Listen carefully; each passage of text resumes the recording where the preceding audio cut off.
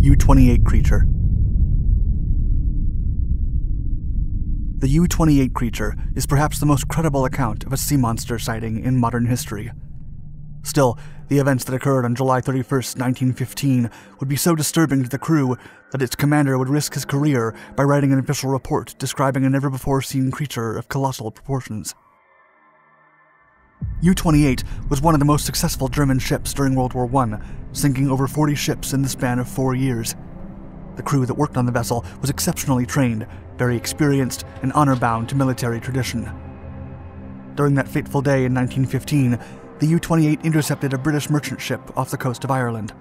The German submarine then torpedoed the merchant steamer, causing irreparable damage, and then surfaced to witness a potent blast coming from the sinking location. The sighting was attributed to the British boilers exploding. However, as the dramatic explosion occurred, the commanding officer aboard the U boat, Captain Lieutenant Freiherr Georg Günther von Forstner, reported seeing something extremely unusual and frightening. Quote, the wreckage remained beneath the water for approximately 25 seconds, at a depth that remains clearly impossible to assess, when suddenly there was a violent explosion which shot pieces of debris, among them a gigantic aquatic animal, out of the water to a height of approximately 80 feet. At that moment, I had with me in the conning tower six of my officers of the watch, including the chief engineer, the navigator, and the helmsman. Simultaneously, we all drew one another's attention to this wonder of the seas, which was writhing and struggling among the debris. The captain went on to describe the creature as an aquatic crocodile measuring about 60 feet, with four limbs and a long tail. He claimed to be unable to take a photograph as the animal sank out of sight after 10 to 15 seconds. The groundbreaking sighting of the monstrous sea creature would be questioned by many people for decades. However, the captain and crew's reputations have given some validity to the story, and many experts consider the possibility that this might have been a real encounter with a prehistoric creature. The similarities of the U 28 creature with an ancient Mosasaurus, a prehistoric sea crocodile that roamed the oceans millions of years ago, cannot be disregarded. Some have even suggested that the U 28 crew stumbled upon a deep sea creature exploring the surface, and that massive monsters still dwell within the ocean's depths, waiting to be discovered.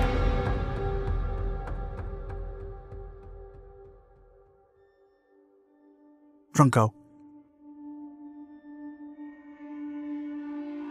On December 27, 1924, the London Daily Mail published a story titled Fish Like a Polar Bear. In the article, the publisher reported a witness account of an enormous furry creature similar to a polar bear that was fighting two killer whales off the coast of South Africa. The unique beast was described as having an elephant like trunk and being covered in thick white fur. During the three hour battle with the whales, the unusual creature was reported to have lifted itself up by about 20 feet, towering over its enemies. After the savage confrontation, the carcass of the strange beast ended up washing up on Margate Beach.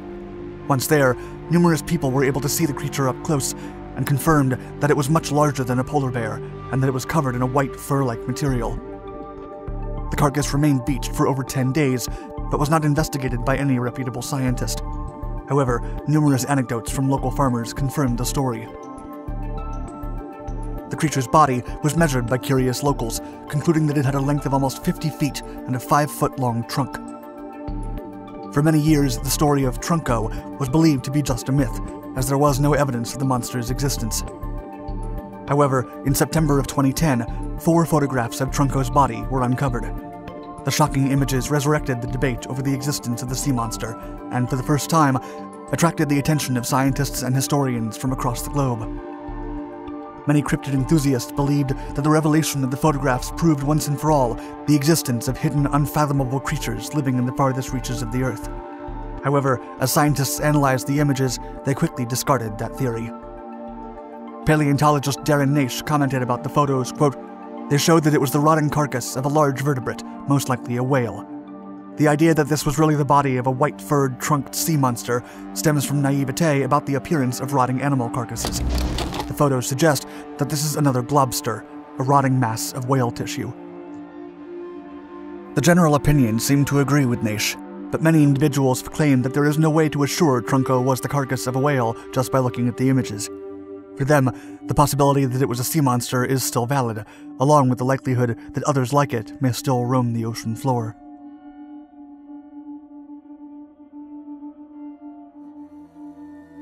USS Stein Monster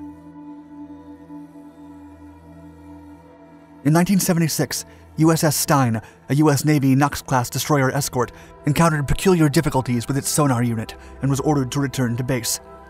When the vessel was inspected at the base, technicians found that the no foul rubber coating of her ANSQS 26 sonar dome was severely damaged, and the organic pattern seemed to indicate that a living creature was responsible. Taking her name from Marine Tony Stein, a renowned hero in the Pacific theater of World War II, USS Stein was a mighty U.S. naval asset with long combat service experience. After her sonar unit malfunctioned in 1976, it was discovered that its sonar dome was damaged. The source wasn't clearly explained, but the dome had suffered numerous cuts that seemed arranged in a peculiar pattern. Experts concluded that the sonar unit's slashes were similar to those caused by the arched hooks on the suction cup's edges of some squid's tentacles. However, the marks left on USS Stein were much more prominent and profound than any squid species ever recorded. Calculations would later reveal that if a squid creature had been responsible for the damage, it would have to be at least 150 feet in length. Biologists know that such monstrous krakens only exist in prehistoric records or fantasy fiction, However, the possibility still remains that the ship was attacked by a surviving specimen of the ancient and gigantic squid creature Teuthus rex. Still, the existence of Teuthus rex is denied by modern biology, but with so much of the deep ocean still unknown to humankind, it is possible that such ancestral and colossal monsters still live somewhere deep below the sea. The Bloop During the Cold War, the US developed specialized hypersensitive listening devices to detect Soviet submarines and locate them before becoming a threat to national security. As the Soviet Union collapsed in 1992, many such devices were deemed unnecessary and donated to scientific agencies for research purposes. Then, in 1997, the National Ocean and Atmospheric Administration picked up on a distinctive sound in the South Pacific. The powerful, ultra low frequency underwater sound was like nothing ever recorded by underwater research. It was nicknamed the bloop because the sound resembled the pronunciation of that word. Researchers from the National Ocean and Atmospheric Administration hurried to try to explain what might have caused such a rich and unusual sound, and preliminary reports concluded that the sound was similar to those produced by whales and other mammals.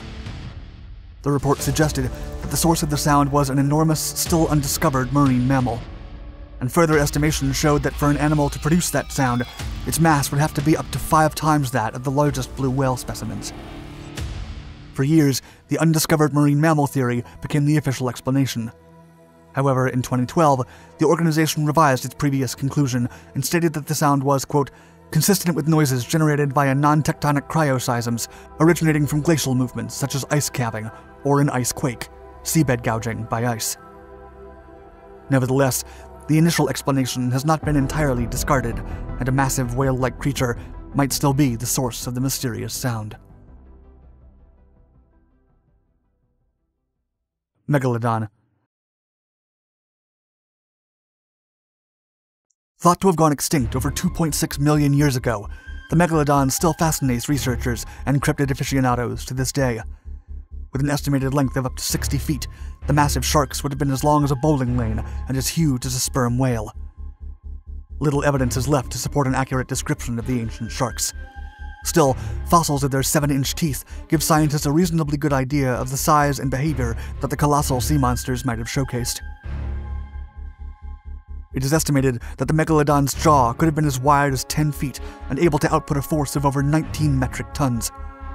Considering such impressive characteristics, they could have easily hunted and eaten whales.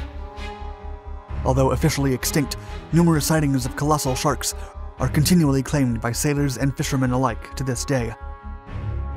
In 1981, naturalist David Stead interviewed several fishermen who claimed to have seen a megalodon in a fishing ground off Broughton Island.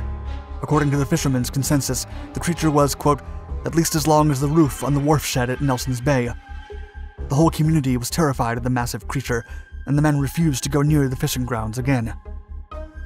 Another incident that suggests the existence of live megalodons occurred off the edge of Australia's Great Barrier Reef in the 1960s. A group of sailors confessed that on one occasion their 85 foot ship was forced to anchor for engine repairs, and the seamen were shocked to encounter an enormous white shark swimming slowly past their vessel. According to the sailors, the shark was as long as their ship, and it was definitely not a whale. There are many possible explanations for such incredible sightings, and one of them is the possibility of a small number of immense ancient sharks still roaming the waters near Australia. Thank you for watching my video. Make sure to like and subscribe so you don't miss any of our exciting history-inspired videos. And if you want to watch more enthralling content, check out our other Dark Documentaries channels.